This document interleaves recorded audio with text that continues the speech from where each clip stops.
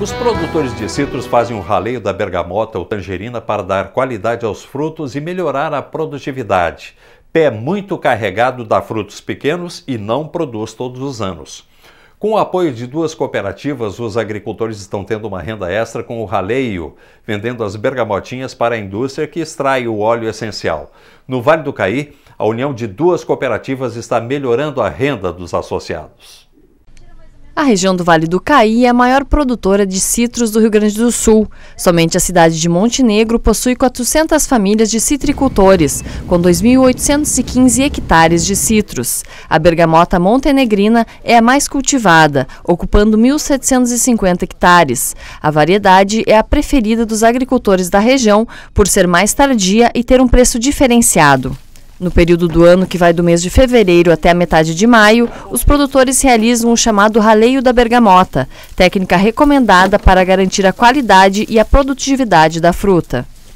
Bem, o raleio dos citros e fundamentalmente da bergamota, da bergamotinha, ela é feita costumeiramente e é recomendada tecnicamente. Isso em virtude que a bergamoteira, ela carrega muito no ano e no ano seguinte ela carrega pouco, quase não carrega. Isso tecnicamente é chamado de alternância. Então, em primeiro lugar, para evitar a alternância, que é produzir no ano e não produzir no ano seguinte, e também porque os produtores de bergamota querem uma fruta de melhor qualidade. E para que essa bergamoteira produza frutas de boa qualidade, há necessidade de tirar uma parte dessas frutas quando ela carrega demais. Muitas vezes se tira até 50%, 60% das frutas pequenas no início do seu desenvolvimento. Para que as frutas que ficam, as, bergamota, as bergamotas que ficam na planta, elas tenham um tamanho maior, tenham um sabor melhor, inclusive uma coloração melhor. Então há necessidade de retirar parte das bergamotas quando elas são pequenas, quando elas estão ainda antes de atingir 2 centímetros, 2 centímetros e meio, no máximo 3 centímetros. É aí nessa fase que os citricultores realizam essa prática chamada raleio. As bergamotinhas são utilizadas como fonte de renda, já que da casca da fruta pode ser retirado o óleo essencial. Essas bergamotas elas têm um valor econômico, principalmente nos dias de hoje, porque muitas vezes é, não compensa o trabalho de colocar em caixa e levar para as indústrias, que são quem compra, quando o valor pago é baixo.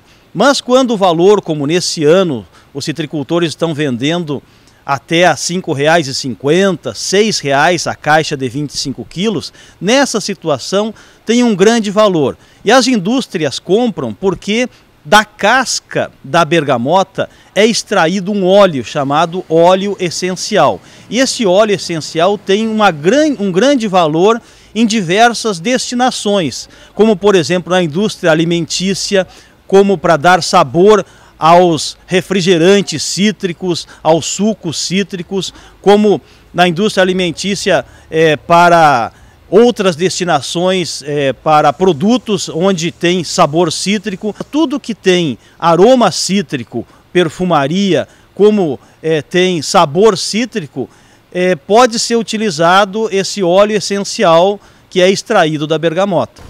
Para garantir mercado e preço justo pelo óleo essencial da bergamota, os produtores da região formaram, há três anos, a Cooperativa dos Fruticultores da Agricultura Familiar no Rio Grande do Sul, a Cofrutaf. Atualmente, a cooperativa abrange 11 municípios, a maioria da região do Vale do Caí. Há três anos já existe uma cooperativa que tem uma abrangência regional que se chama Cofrutaf. E o interessante dessa cooperativa que ela é uma cooperativa, como nós dizemos, uma cooperativa guarda-chuva. Só participa dessa cooperativa, e hoje são 300 associados, aqueles citricultores que estão vinculados a uma associação ou uma cooperativa de base lá no seu município. Então, essa cooperativa, chamada Cofrutaf, ela congrega hoje 12 associações e pequenas cooperativas. Esses citricultores, então, destinam a produção do raleio, as bergamotinhas raleadas, para o processamento na cooperativa. e depois eles mesmos, através da sua organização, podem comercializar essa, esse óleo essencial extraído da bergamota. Bom, a Emater ela está trabalhando junto com a Cofrutaf, né? A gente presta assistência técnica para os agricultores e também incentiva eles na parte da comercialização, principalmente para eles uh, ajudando eles a entender esse processo que na verdade eles não estão vendendo a bergamotinha, né? Eles estão é, comercializando o óleo. Para realizar o beneficiamento da fruta, a Cofrutaf realizou uma parceria com outra cooperativa da região, a Ecocitrus, que é responsável pelo processo industrial de transformar a fruta em óleo. A Cofrutaf surgiu da, da experiência de pequenos grupos, né, junto com a Ecocitrus, que disponibilizaram sua produção de bergamota verde na indústria da, da Ecocitrus para fazer o beneficiamento, né, e logo após então a venda em conjunto desse, desse óleo, do, do produto final como deu certo, né, surgiu a necessidade de se aumentar esse volume. Né? Então surgiu a Cofrutaf, né, com um grupo maior de produtores, né, formados em grupos de base, né, que fornecem a bergamota, né, nossa matéria-prima essencial, para o fornecimento do óleo, né, junto à indústria da Ecocitos, que cobra um preço para o beneficiamento desse, desse óleo, né, e o restante e a cofrutar fica com o restante do óleo que posteriormente é vendido para o mercado externo. Sim, de todas as formas que se tentou até hoje, que eu conheci, né, de se melhorar o preço né, dessa, desse subproduto da citricultura, que seria a bergamota verde, o que eu tenho visto até hoje foi a melhor opção que nós tivemos né, na melhora de preço. Né? Justo, tanto que no ano passado já tivemos um, uma distribuição de sobras aí que chegou a uma diferença de 20% a mais né, em cima do preço da bergamota paga pelas outras indústrias. O processo de transformação da fruta em óleo, realizado pela Ecocitrus, utiliza um sistema sustentável e com controle de qualidade. O processo agora, claro, que é da mandarina verde para óleo essencial. A, a produção ela vem né, dos agricultores, tem uma logística de recolhimento, vai até a balança, é pesado, depois vai para o tombador, e é feita a descarga e após a descarga automaticamente pelo levante vai para o silo.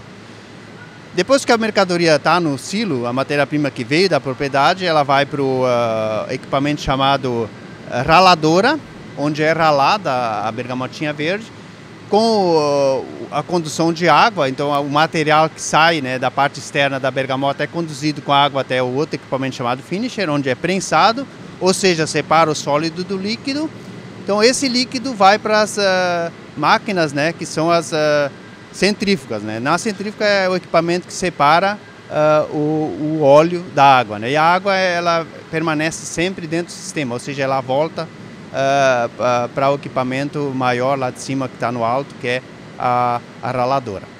A família Schallenberger produz citros na comunidade de Lajeadinho, interior de Montenegro. Eles cultivam cinco variedades de bergamota em 18 hectares. A família, formada por quatro pessoas, trabalha todo dia no raleio, sendo que cada pessoa retira dos pés até 20 caixas de bergamota por dia. O, o, a propriedade eu tenho desde o, desde casado, depois de casado que a gente comprou essa propriedade aqui, mas eu trabalho com bergamota desde os 18 anos, 17 anos. E o raleio, ao mesmo mesma época, a gente começou a trabalhar, já começou a trabalhar com raleio. Uh, nos últimos anos, então, com a questão da, co, da Cofrutaf, tu acha que tem melhorado para o produtor essa questão do raleio? Tem, tem melhorado, porque é mais um, uma, um lugar que a gente tem para negociar para vender o óleo, que é, o óleo é direto, é vendido na verdade direto pelo produtor, na verdade. Por isso que é uma diferença. O bom preço pago pelo óleo essencial e as condições de trabalho também foram importantes para garantir a sucessão familiar na propriedade. Tem valido a pena para ti? Tu gosta? Acho que tem mais futuro hoje ficar até no campo do que voltar para a cidade? Ah, com certeza. Eu tenho até amigos que saíram e querem voltar, né? E para mim tá valendo muito a pena. Quando tu tiver os seus filhos, tu vai querer ensinar para eles tudo isso também? Filhos, sobrinhos, todos. e, e, essa questão da mulher também no campo, né? Porque a gente vê hoje na questão da sucessão que a gente tem uma dificuldade, às vezes, das meninas permanecerem delas, acharem algo que elas gostem de fazer, né? Sim, sim. É, mas eu acho que te, além de gostar, tu tem que encarar como sendo a tua profissão mesmo e cada vez melhorar mais dentro disso, sabe? É isso que tem que, tem que fazer. E para ti, como é que tem sido trabalhar aqui com a tua família? Poder ficar no campo, poder se manter assim e trabalhar com a família? tem sido bom. É, é a minha profissão, como ela disse. É o que a gente escolheu para nós. É isso. E tu acha que tem mais futuro hoje no campo? Eu acho que tem. Hoje a gente tem muito incentivo, muita ajuda e tem sido bom. Importante, a sucessão é importante, porque senão desestimula quem é mais velho, no caso, no meu caso. Uhum. E essa questão do preço também estimula a ficar, né? Se o preço não é justo para o produtor, fica difícil. Sim, sim. É importante. O preço, a, o gostar da roça é importante, mas o resultado, o financeiro também é importante.